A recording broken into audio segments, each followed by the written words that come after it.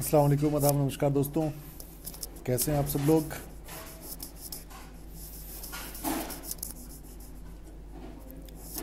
उम्मीद करते हैं आप सब लोग अच्छे होंगे।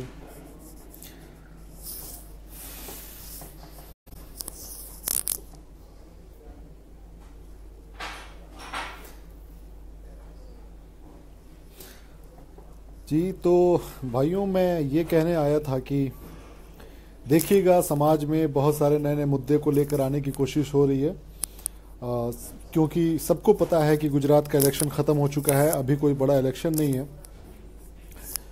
तो लोग कहीं विकास की बात ना पूछने लग जाएँ लोग कहीं अपने हक के पंद्रह लाख रुपए की बात ना पूछने लग जाएँ लोग कहीं अपने रोज़गार के बारे में ना पूछने लग जाएँ लोग कहीं जो हमारे सरहद पे हमारे जवान शहीद हो रहे हैं उनके बारे में कोई सवाल ना पूछने लग जाए।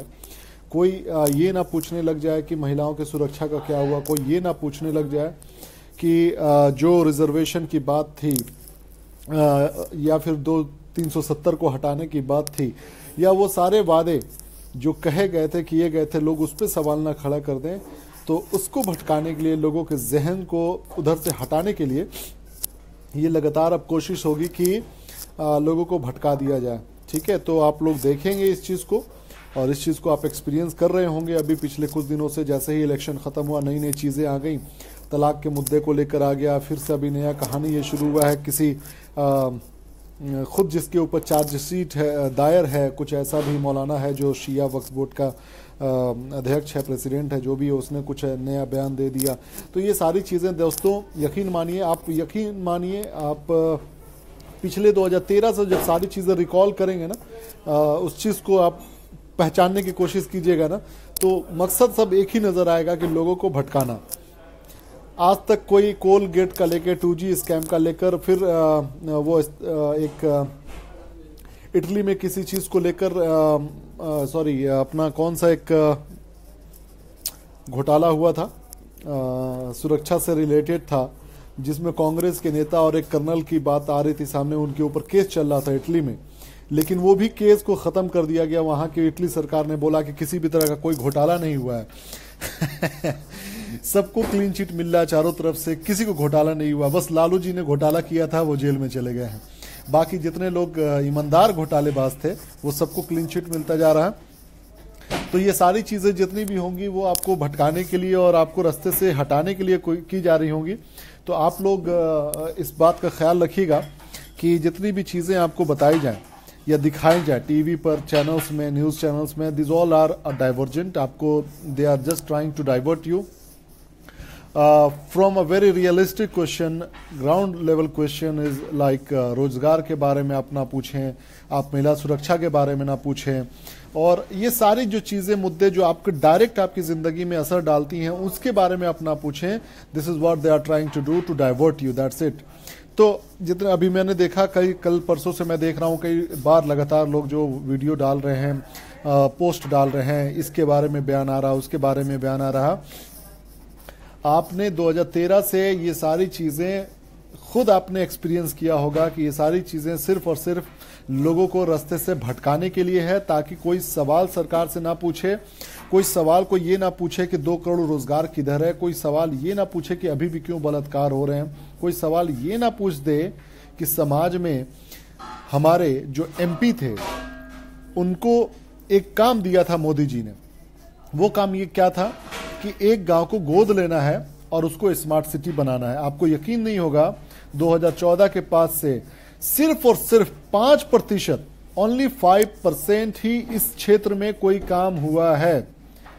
उसके नाम पे करोड़ों वोट, उसके नाम पे अरबों रुपए का खर्चा, उसके नाम पे प्रचार प्रसार में खूब वाहवाही लूटने वाली बात, लेकिन ज़मीन पर जो काम सिर्फ़ पाँच परसेंट हुआ है चार सालों में। तो आप समझ सकते हैं कि हिंदुस्तान की जनता को भटकाने के लिए अभी कौन कौन सी चीज़ें आएँगी। आप लोगों को बड़े ही सतर्क रहने की ज़रूरत है। हो सकता है कि बीच में कुछ ऐसी भी चीज़ें आ जाएँ, आपके ऊपर देशद्रोही का फिर मामला शुरू हो जाए। आपको फिर से बताने लगा जाएगा कि तुम देशद्रोही हो, तुम आतंकवादी से हो, तुम क्या क्या हो। आपको पता ही है बीजेपी और उनके समर्थक लोगों का तरीका क्या है।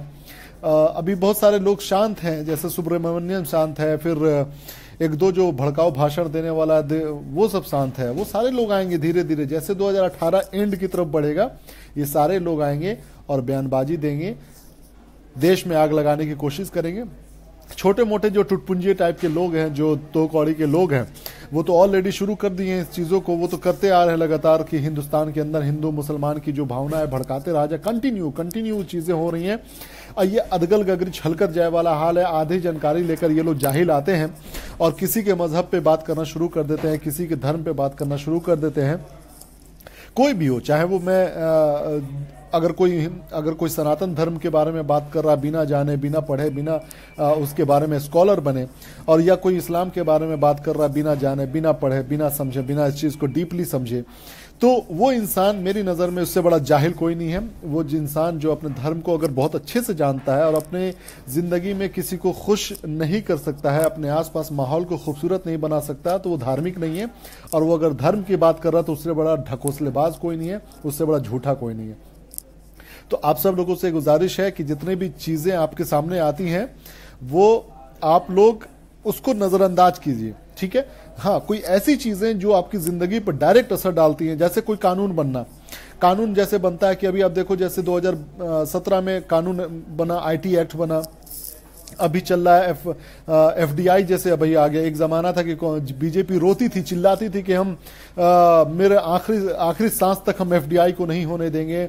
यानी कि जो विदेश से निवेश आता है कोई विदेशी कंपनी आकर भारत में निवेश करती है अब तो पूरा का पूरा कोई सिंगल ट्रेड वाला इंसान जैसे कि आइकिया हो गया जैसे कि कोई एक कैरफोर हो गया जो एक ऐसा ऐसी कंपनी जो अपने एक ब्रांड को बेचना चाहती है उसको 100 परसेंट एफडीआई हिंदुस्तान सरकार दे रही है। और तो आप देखो किस तरीके से सारी चीज़ें यू टर्न ले रही हैं सारी चीज़ें आपको हिंदुस्तान जो तालाब होता है ना तालाब के अंदर कुछ मछलियाँ होती हैं जैसे हिंदुस्तान के अंदर में जो आ, हिंदुस्तान के अंदर हिंदुस्तान को मान लीजिए एक तालाब की तरह ठीक है जिसके अंदर कई खजाने हैं कई ऐसी चीज़ें हैं जो हिंदुस्तान के अंदर आ, हिंदुस्तान को समृद्ध बनाती हैं उसको खूबसूरत बनाती है।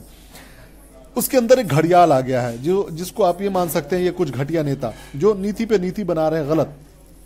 लेकिन उस तालाब के ऊपर कुछ गंदगी ऐसी तैर रही है, जिसके ऊपर राजनीति हो रही है। और हमें आपको उसी के ऊपर उलझा दिया गया, लेकिन उस तालाब के अंदर में मछलियों को वो घड़ियाल कैसे खा रहा वो क्रोकोडाइल कैसे उसको खत्म कर रहा है धीरे धीरे उस पूरे खूबसूरती को कैसे खत्म कर रहा है, उस तालाब को कैसे गंदा कर रहा है, ये चीज़ें हम लोग अभी उसके तह तक नहीं पहुँच पा रहे हैं। आपको और हमको सिर्फ़ हिंदू और मुसलमान के इस मैटर पे बांट कर अंदर से क्या क्या चीज़ें हो रही हैं। करोड़ों अरबों रुपए का घोटाला चल रहा है दोस्तों, करोड़ों अरबों रुपए का। जितने भी एमपी एमएलए आप हैं, देख लीजिए अलग अलग क्षेत्रों में आप कोई भी उनके पैसे का ब्यौरा कोई भी उनके पैसे का खर्चा अभी जैसे बजट आने वाला है मार्च में आएगा ठीक है हिंदुस्तान में। इस पे किस पे बात होगी? इस पर रेलवे पे बात होगी इस पे सुरक्षा बजट पे बात होगी। दो तीन जो चीज़ें ऐसी हैं जो बड़ी ही आम है उसके बारे में लोग जानने की कोशिश करते हैं कि रेल का भाड़ा भाई कितना बढ़ा आ, या फिर हमारे लिए सस्ता क्या हुआ हमारे लिए महँगा क्या हुआ इन सारी चीज़ें कॉमन चीज़ें हैं। लेकिन कुछ ऐसी पॉलिसीज़ होती हैं जो आपको दिखेंगी नहीं, लेकिन डायरेक्ट आपकी ज़िंदगी पे असर डालती हैं।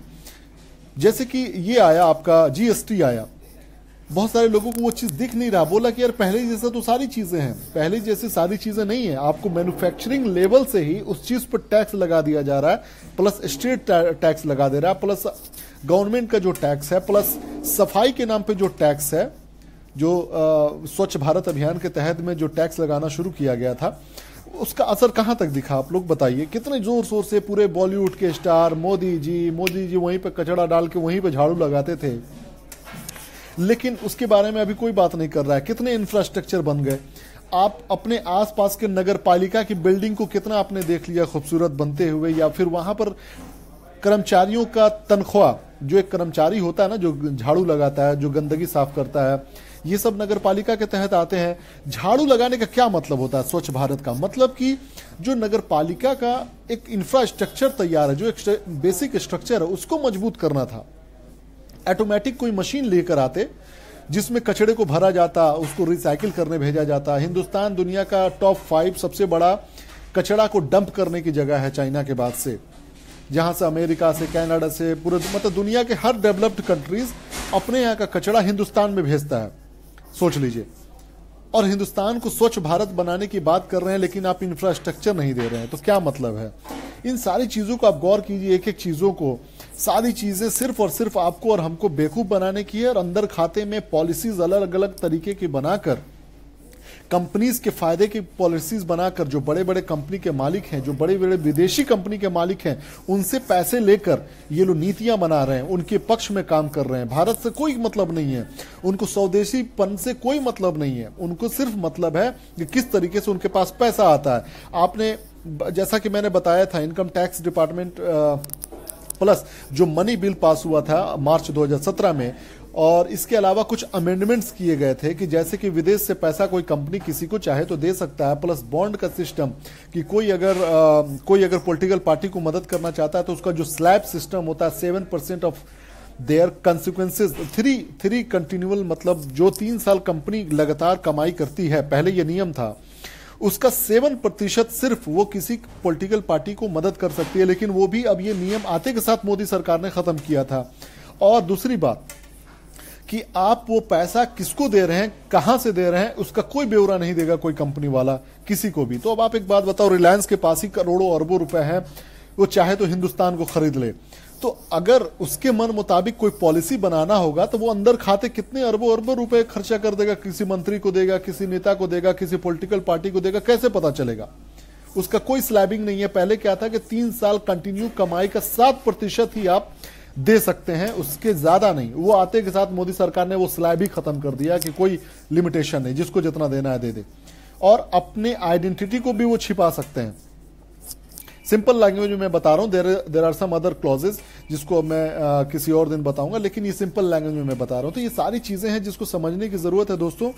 हिंदुस्तान में बहुत सारी चीज़ें अंदर से होती हैं लेकिन हम लोगों को आम जनता को बेवकूफ़ बनाने के लिए हिंदू मुस्लिम ये धारा वो धारा तीन को हटाएँगे चौंतीस को हटाएँगे सैंतीस को हटाएँगे आ, ये कानून लाएँगे ट्रिपल तलाक मदरसा हलाला नियो नियो जो पता नहीं क्या क्या है, जो सारी चीज़ें हिंदुस्तान में लोगों को बीच में डाल दी जाती हैं और लोग उछलना शुरू कर देते हैं। तो अपने आप को आप लोग संयम के साथ काम करते रहें। मकसद हम लोगों का सिर्फ़ इतना है लोगों को अवेयर बनाना और जैसे अपने प्रतिनिधि चुनेंगे, यानी कि आपके एरिया के एमपी और एमएलए, सिर्फ़ वही एक ऐसे इंसान है जो आपके हर समस्या को केंद्र सरकार तक पहुंचाते हैं। तो केंद्र सरकार वैसे ही लोगों के मेल से बनता है, गठजोड़ से बनता है।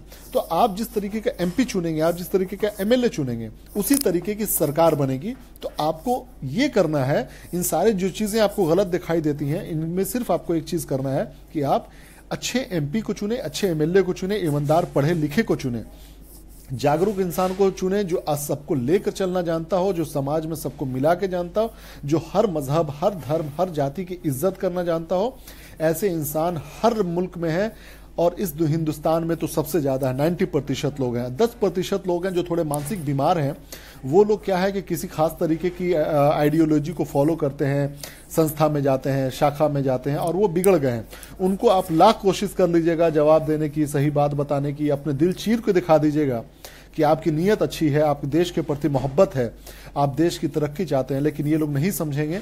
ये लोग गए गुजरे लोग हैं, ये लोग समाज के, वो लोग हैं जो समाज को तोड़ना जानते हैं, जाते हैं और बनाना नहीं जानते हैं। इनके अंदर में वो कुवत नहीं है, इनके अंदर वो साहलियत नहीं, सलाहियत नहीं है, उनके अंदर वो एबिलिटी नहीं है कैपेबिलिटी नहीं है, उनके अंदर वो वो बात नहीं है, वो जज्बा नहीं है एक दूसरे के लिए, एक हिंदुस्तानी के लिए, दूसरे हिंदुस्तानी के लिए एक, कि मोहब्बत से वो रह सकें, वो आपस में भाईचारगी के साथ रह सके, एक दूसरे की बात को समझ सके, एक दूसरे के दर्द को समझ सके।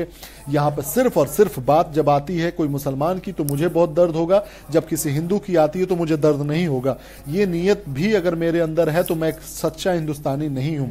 उसी तरीके से कोई हिंदू को ये लगे कि अरे यार, ये पंडित है तो मेरा इसके प्रति ज़्यादा मोहब्बत हो, दलित होगा तो चलो जाने दो उसको लात पड़ने के ये लोग आदि होते हैं, या फिर महिला हैं, उनके प्रति इज़्ज़त नहीं, या फिर कोई दलित है तो उसके प्रति इज़्ज़त नहीं, या कोई क्रिश्चियन है तो उसके प्रति इज़्ज़त नहीं, या फिर कोई सिख है तो उसके प्रति इज़्ज़त नहीं। ऐसी मानसिकता अगर किसी भी इंसान के अंदर है तो सबसे पहला पॉइंट यह है कि वो हिंदुस्तानी नहीं है और वो इंसान अभी पूर्ण रूप से नहीं बना है, क्योंकि एक अगर आप हिंदुस्तानी हैं तो आप एक सच्चे इंसान होंगे, क्योंकि हिंदुस्तानी खुद में एक बहुत बड़ी परिभाषा है।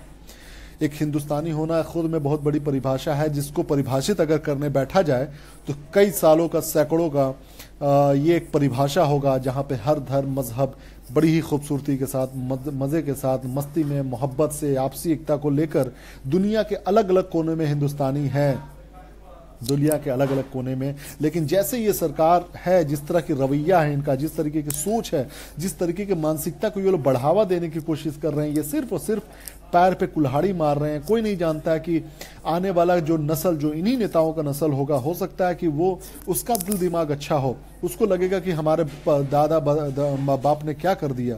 कैसे हमारे देश को तोड़ दिया? कौन जानता है कि आज जो एमएलए बहुत भड़काऊ भाषण देता है, कल का उसका बच्चा बहुत ईमानदार निकल जाए? बहुत अच्छा हो। कोई नहीं जानता है। तो ये सारी चीज़ें समझने की ज़रूरत है, आपको भटकने की ज़रूरत नहीं है। जितनी भी चीज़ें आपको बताई जा रही हैं, दिखाई जा रही हैं, वो एक डाइवर्जेंट है। आपको फोकस करना है कि हमें डेवलपमेंट चाहिए, हमें जो सरकार ने वादा किया वो चाहिए, हमें सड़कें चाहिए, हमें बिजली चाहिए, हमें ज्ञान चाहिए, हमें शिक्षा चाहिए, हमें आपसी भाईचारगी चाहिए, हमें मोहब्बत चाहिए, इसके अलावा इसके अलावा हमें कुछ नहीं चाहिए।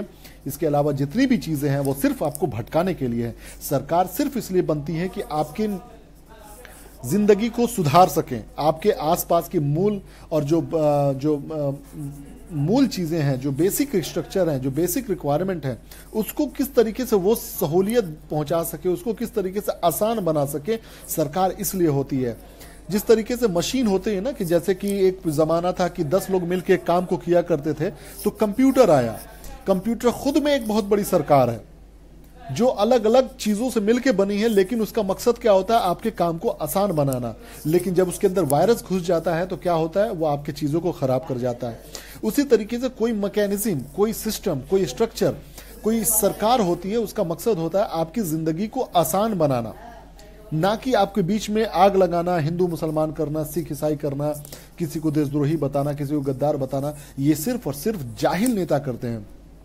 जो पैदा ही हुए गटर में जो बड़े हुए गुंडागर्दी करते में जो आ, मतलब छीनी छीना झपटी में छिनैती में चाकूबाजी में गुंडागर्दी करते करते ये नेता बन गए। कुछ कराने में नेता बन गए इस तरह के काम कराने में नेता बन गए। तो वो आज बड़े बड़े पद पे पहुँच जाते हैं और जो छोटे मोटे काम करते हैं वो एमपी एमएलए तक रह जाते हैं। ठीक है? तो ऐसे लोगों को पहचानना पड़ेगा। वाह वाही इसमें नहीं खोजना है। बहुत सारे लोग हैं। मैं बता रहा हूँ मतलब कि बहुत सारे लोग ऐसे हैं जो कुछ बाहुबाली टाइप के, गुंडे टाइप के, नेताओं के आसपास खड़े होकर अपने आप को बड़ी अच्छा महसूस करते हैं। कुछ बलात्कारी हैं जो अभी भी संसद में बैठे हुए हैं, जिनके ऊपर केस चल रहा है। तो ऐसे लोगों को आपको बाइकाट करना पड़ेगा, निकालना पड़ेगा अपने समाज से, अपने दिल से, अपने दिमाग से कि नहीं कि नहीं, हमें उससे मतलब नहीं है, थोड़ी देर के लिए तारीफ़ आपकी भले वो कर देगा, थोड़ी देर के लिए आपके कंधे पे हाथ ज़रूर रख देगा, लेकिन ये आपके बच्चे का भविष्य नहीं बनाएगा। ये उनके लिए ठीक है जो किसी जगह पे जो पले हैं मतलब उन जिनके माँ बाप का पता नहीं होता है और उनकी आगे की ज़िंदगी का नहीं पता होता है, उनके लिए ठीक है कि उनको लगता है कि चलो मेरे ऊपर किसी का हाथ है, अब चाहे जितनी गुंडागर्दी कर लो। तो ऐसे लोगों का इस्तेमाल किया जाता है दंगे फसाद गुंडागर्दी कराने में। ठीक है? तो आ, हम इसका सिर्फ़ एक ही मकसद है कि आप अच्छे नेता को चुनिए। दैट्स इट आप सब लोगों का शुक्रिया। जुड़ने के लिए मैं किसी का कमेंट नहीं पढ़ पाया। राहुल भाई वालेकुम सलाम। राजेश भाई कैसे हैं? सही फयाज भाई अबू इब्राहिम फ़ारूक भाई अबू इब्राहिम वसीम अहमद गुलाब भाई। राइट चलिए आपका शुक्रिया मेरे भाई लोग। अपना ख्याल रखिए। मैं भी चलता हूँ। जय हिंद जय भारत।